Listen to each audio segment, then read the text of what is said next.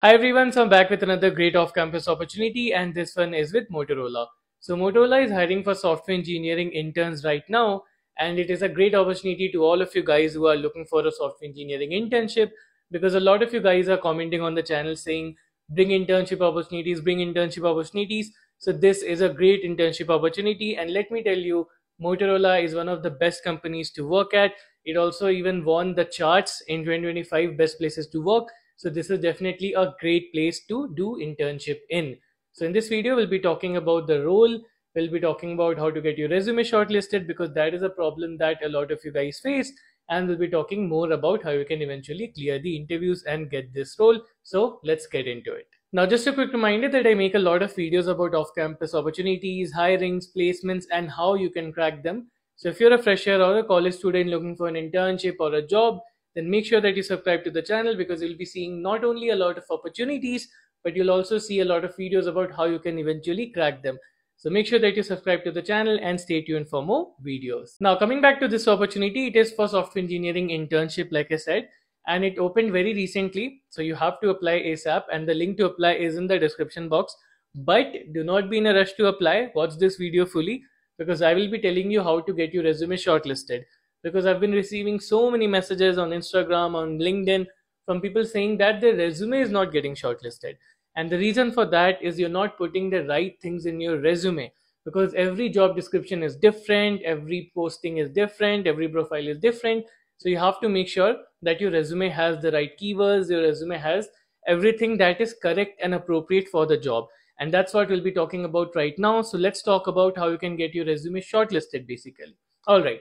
So for getting your resume shortlisted, the number one thing, the most important thing that you need to do is make sure that your resume is proper and ATS friendly. Now, a lot of people bring their resume to me and when we check their ATS score, it is 60%, 50%. So that is not going to work.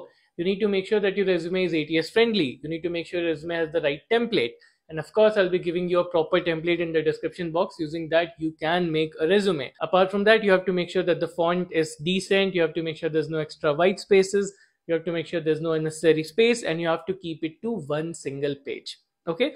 So this is very important that you make your resume ATS friendly you have a proper template and basically your resume is proper. Now the second thing is of course the content that you have in your resume. So the content is divided into two parts. First you have the necessary keywords and then you have the necessary sections. So you need to have a good project section. That is something that is very important. As a fresher or as a guy looking for an internship the most important part of your resume is your project section. You have to make sure that you have high quality projects. You have to make sure you don't have clone projects. You have to make sure you don't have any projects that are not you know to the mark up to the mark. You need to have some impactful projects or you need to have projects that match with the jd Okay, so your project section is very important. Do not underestimate it. Now coming to the keywords part, I know a lot of you guys get confused about what keywords to put. So I'll be doing something good for you. I'll be putting all of the keywords that are necessary in the description box. So all of the keywords that are important that match with the JD that you need to put in your resume will be in the description box, all of the list of them. But do not put anything in your resume that you know nothing about. As I always say in all of my videos, the strategy is you can learn first and then put in your resume. So the keywords will be in the description box, but do not blindly put anything in your resume. And you don't need to put everything out of them. You need to put some keywords, but of course, don't put anything you don't know. Learn and then put. That is a good strategy to do. Okay. So the keywords I'm giving you already, you need to have good projects. If you have experience working with cloud technologies, put that. If you've worked with cloud technologies in your projects, then put that as well. And if you've worked with Docker, Kubernetes, or if you have skills of them, then put that here as well. That is also going to give you an edge. And of course, apart from that, you know the drill. Put any one programming language, that is important. Here you can put Java, Python. They haven't mentioned any preference. So you can put any programming language, but you need to show that you have expertise in any one programming language. Okay. So form your resume like this and definitely you'll have a good chance at getting shortlisted. Now, if you want to go down the route of referral, you can do that as well. Just make sure that your resume is proper and make sure that you're asking the right way in the referral message.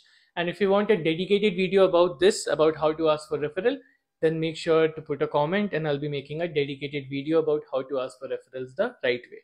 But here you have the option, you can ask for referrals if you want. You have the option of doing that here as well. Now, after you get shortlisted, after you go through the resume and you basically apply, then the next part is of course going to be the interviews. Now, the interviews at Motorola are not going to be too difficult. It is going to be more about the skills. It is going to be more about your resume and the projects. So what I will be doing as usual, I will be putting a lot of interview experiences in the description box. So I'll be giving interview experiences of recent candidates or recent employees who have appeared for the interview. From there, you'll be getting to know about the interview process, what all you can expect, so you can prepare accordingly. And along with that will be the resources on how you can prepare for it basically. That's pretty much it. This is a great opportunity for all of you guys looking for an internship. So make sure that you apply ASAP. The link to apply is in the description box. If you have any doubt, let me know in the comments and watch out for the next video. I have a lot of upcoming opportunities, so stay tuned.